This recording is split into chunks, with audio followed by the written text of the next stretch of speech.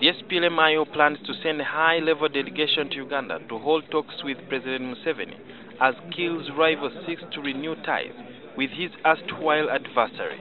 According to a letter sent by Dr. Riek Machar to the president's brother, General Salim Saleh, he instructs his deputy Alfred Ladu Gore to engage shuttle diplomacy with a neighboring state. The other members of the delegation include SPLM-IO officials Richard Muller, Ezekiel Lol, Stephen Par, Mabior Garang, Lumumba Stanislas D. Aping, Tijok Agwet, Martin Abucha, Keyet Gang Luwal, Yatta Joseph, and David Kinyi.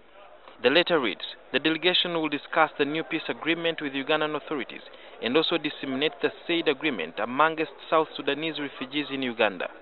Under the terms of South Sudan's new peace agreement, forces allied to either the warring parties are required to leave the country. Uganda has troops stationed in areas of Juba and Bor in Jonglei State.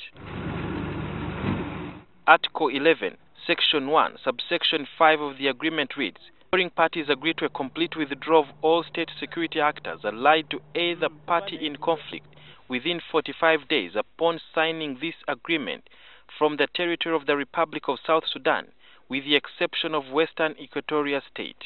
However, the Monitor newspaper in Uganda reported in its Saturday edition that the Ugandan Minister of State for Foreign Affairs, Henry Oryem Okello, yesterday claimed that Uganda is not bound by the IGAD peace agreement. Sudil Biarhanga, NTV.